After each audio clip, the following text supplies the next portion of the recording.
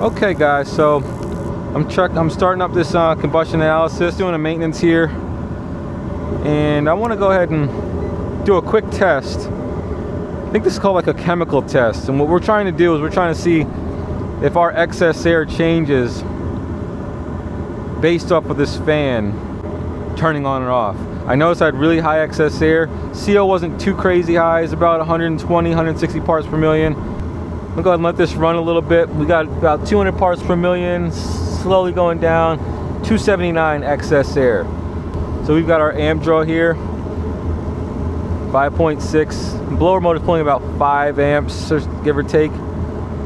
So we've got about 280, uh, 273 percent excess air, which is high. That's what that basically was kind of like a red flag to me. Like, hey, this is looking pretty high. There might be an issue going on with the combustion. So I'm gonna let that stabilize for a bit, and then we're gonna go ahead and pull, pull the speed tap for the blower, make the blower turn off completely, and we shouldn't see any change in CO or excess air.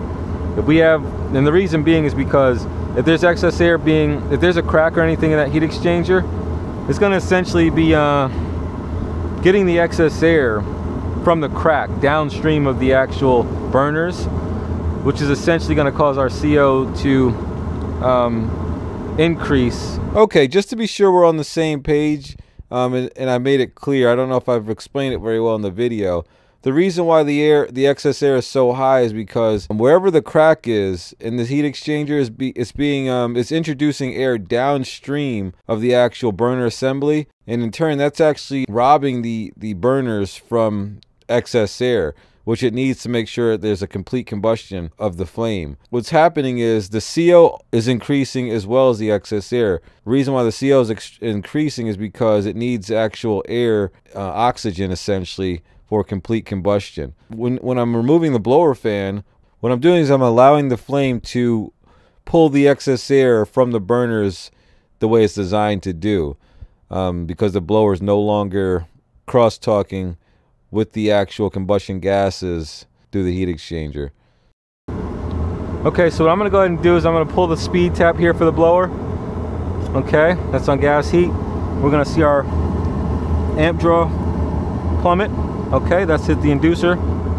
Now let's watch and see if our excess air moves and our CO. So look at that. CO's gone up some. Excess air, we're at around 270, 260. Oh look, 254.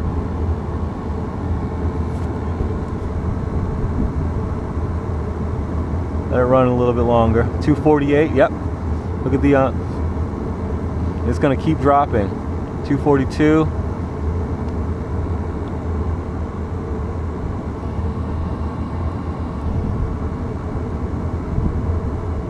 Yeah.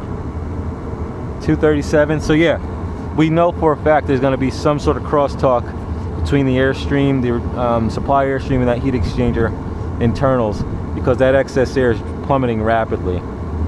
It shouldn't budge we don't want to run this too long like this, but oh yeah, 226, it's dropping. It's dropping dramatically.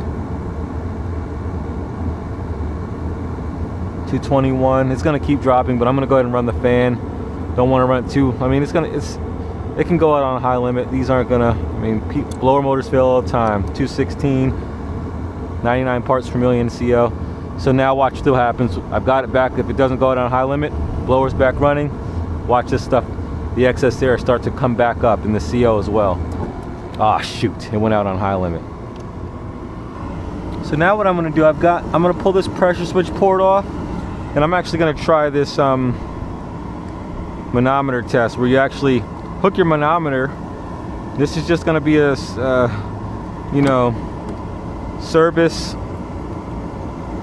grade manometer. It's not a precision manometer or anything crazy like that and I'm gonna basically let this thing cool down but I'm gonna make sure that when the blower fan turns on I'm gonna turn the blower fan on and off and I shouldn't get any pressure this shouldn't be able to pressurize this heat exchanger at all so this inducer can't be running right now it's just running because it's still cooling off because it went on a high limit but once the inducer kicks off I'm gonna cut the um, call for heat And I'm gonna go ahead and um, just put the blower on, let the blower run on um, high speed. Okay. Let's make sure I want that zeroed out completely. I'm gonna zero her out. All right, that's zero. Might have just been a little bit of drift there. Now what I'm gonna do is run the fan. We shouldn't see, once again, we shouldn't see any, any um, movement.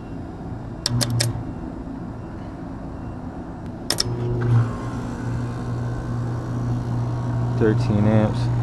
Okay. Fans running at high high speed.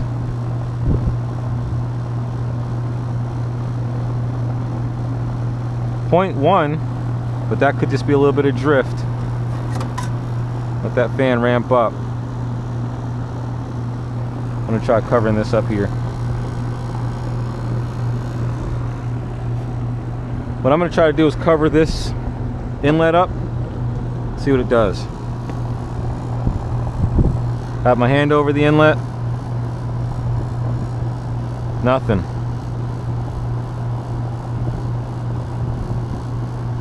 I don't see any change. So what I'm gonna do is turn the fan off. See if it goes down any.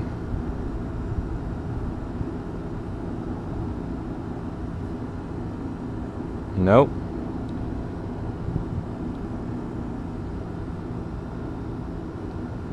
Okay. Only thing we can really do is a visual inspection to solidify this. But based off of that chemical test, the combustion analysis, I think we do have some sort of um, crosstalk in that heat exchanger. So what I'm gonna go ahead and do is I'm just gonna pull this blower motor real quick, just to get a visual. I'm pretty certain this thing is compromised. The heat exchanger itself. It's worth it, worth taking a look, right? Always make sure you cut your power, disconnect out, no big deal. Just getting right into it. Okay. Let's take a look here.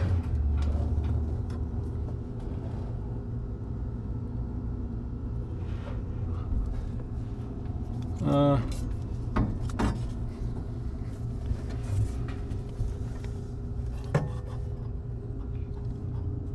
it's not too good, pretty rusted, but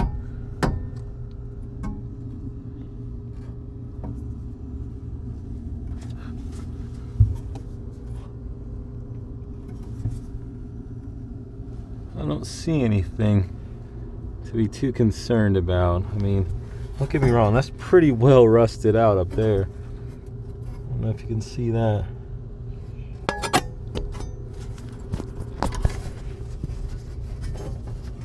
Yeah, that looks bad, but I don't see any holes or anything crazy.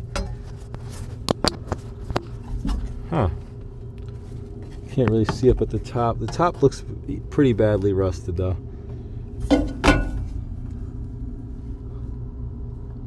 And uh yeah, I don't know. All that white stuff, it's that white powdery stuff is definitely a sign of combustion gases and the rust. Corrosive sign of combustion gas is getting, you know, escaping. I just don't see the point in where it's escaping actually.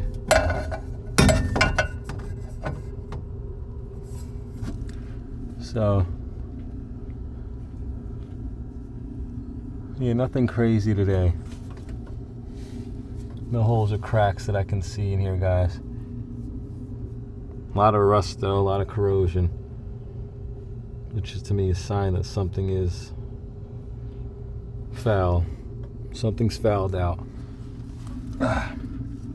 See if I can get out of here. Okay. Blower wheel looks good though. Pretty clean. Yeah. Get this thing popped back in here. Evaporator coil, that's legit. Let's check these filters real quick.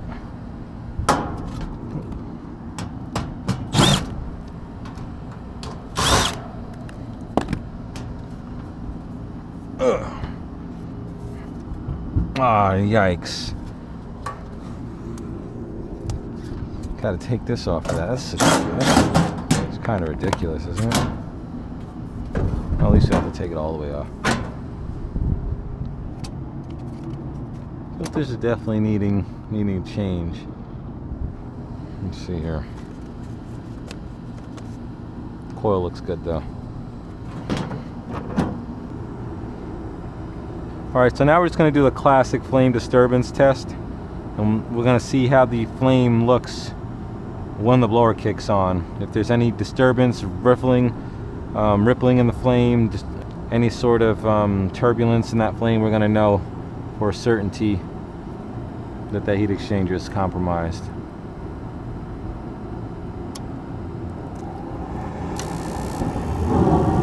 Oh crap.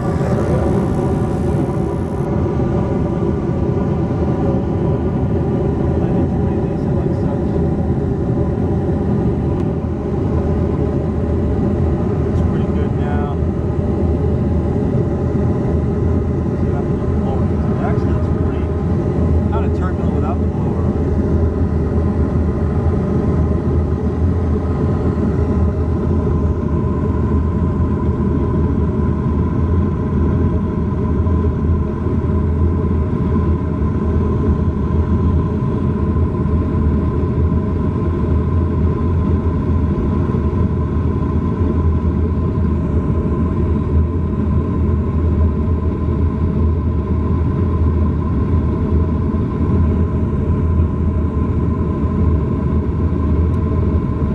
There's a blower relay.